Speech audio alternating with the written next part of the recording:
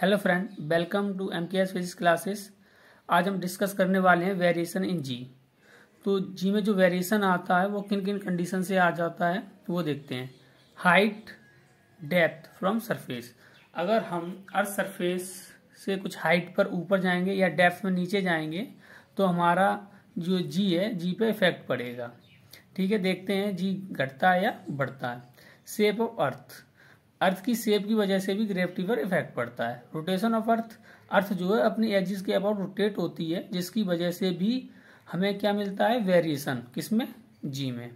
तो हम यहाँ पर बात करते हैं variation in G as we go of earth surface जब हम अर्थ सरफेस पर एच हाइट जाते हैं तो ग्रेविटी पर क्या वेरिएशन पड़ता है? देखिए this is earth mass M और यहाँ से यहाँ तक पर्सन की जो डिस्टेंस है वो कितनी है?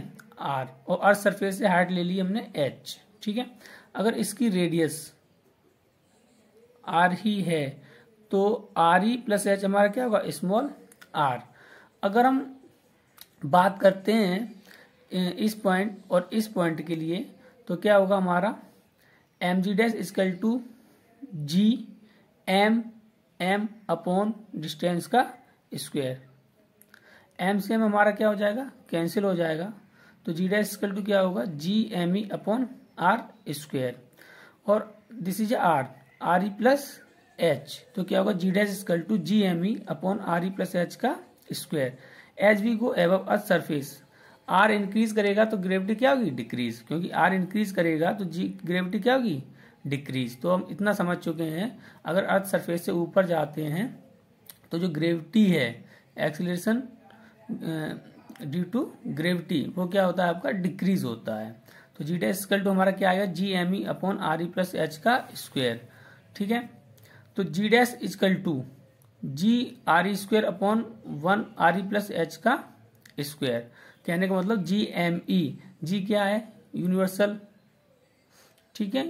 कांस्टेंट एम ई क्या है? मास ऑफ़ द अर्थ तो अभी हमने एक रिलेशन देखा था G M equal to G R E square small G R E square ये किसके लिए था? अर्थ सरफेस पर। तो कितना हो जाएगा? G R E square upon R E plus H का स्क्वायर अगर हम यहाँ से आर ई कॉमन लेंगे तो आर स्क्वायर कॉमन आएगा। आर स्क्वायर से आर स्क्वायर कैंसिल हो जाएगा। तो इसकल टू क्या हो जाएगा? G upon one plus H upon R E का square if H less than less than R E then G dash equal to G one plus H upon R E का power minus two. कहने का मतलब H जो term है, R E के respect में, कैसा है? Very small. तो ये पूरा टर्म ऊपर जाएगा तो पावर प्लस वाली किसमें हो जाएगी? माइनस में कन्वर्ट हो जाएगी। तो एक थ्योरम होती है मैथ में, वन प्लस एक्स की power N equal to one plus N X. कहने का मतलब अगर एक्स जो टर्म है, वन से बहुत स्मॉल है तो एन का आगे मल्टीप्लाई हो जाएगा आगे वन प्लस एन एक्स तो सिमिलरली इसमें भी है G dash equal to G one power कितनी? माइनस टू पावर इसके आगे आ जाएगी तो प्लस माइनस क्या हो जाएगा? Minus two H upon R E तो एक फार्मूला ये भी है आपका, और एक फॉर्मूला ये भी है आपका। इसमें क्वेश्चन देख लेते हैं। Find the height of earth surface where G drops to thirty one percent of at surface मतलब किस हाइट पर जाकर के जो ग्रेविटी है, कितनी ड्रॉप्स हो जाएगी हमारी? Thirty six percent thirty six है ये। कितना है? थर्टी सिक्स परसेंट तो अर्थ सरफेस से ऊपर जाने पर ग्रेविटी का फॉर्मूला क्या होता है? G dash equal to G dash upon one plus G dash equal to G ये डैश नहीं है। G dash equal to G upon one plus H upon R E का स्क्वायर तो वहाँ पर ग्रेविटी कितनी होगी? थर्टी सिक्स परसेंट रह गई है। कितनी रह गई? Thirty six percent. तो थर्टी सिक्स रह गई है कितने में से? हंड्रेड में से। अगर हम परसेंटेज की बात करते हैं तो परसेंटेज के लिए हंड्रेड लेते हैं। तो अर्थ सरफेस पर हंड्रेड थी। तो एच हाइट पर जाकर कितनी हो गई? Thirty six. Thirty six G equal to G upon one plus H का आर का whole square H upon R का होल स्क्वायर इसको जब कैंसिल आउट करेंगे तो कितना आएगा हमारा? Nine upon twenty five. ठीक है?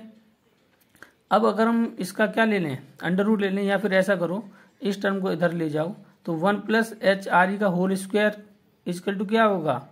One plus H upon R E का whole square equal to twenty five upon nine. जब इससे स्क्वायर हटाएँगे तो अंडर रूट लग जाएगा। ट्वेंटी फाइव का कितना बाहर आएगा? फाइव। अपॉन नाइन का कितना आएगा? थ्री। तो H upon R equal to five upon three और वन उधर जाएगा तो माइनस का होगा। तो equal to two by three. तो एच इजकल टू क्या होगा? आर का मल्टीप्लाई कर दीजिए टू अपॉन थ्री आर तो कहने का मतलब जब अर्थ सरफेस से two by three R height पर जाएँगे तो हमारी ग्रेविटी कितनी हो जाएगी? थर्टी सिक्स परसेंट रह जाएगी। Thank you friend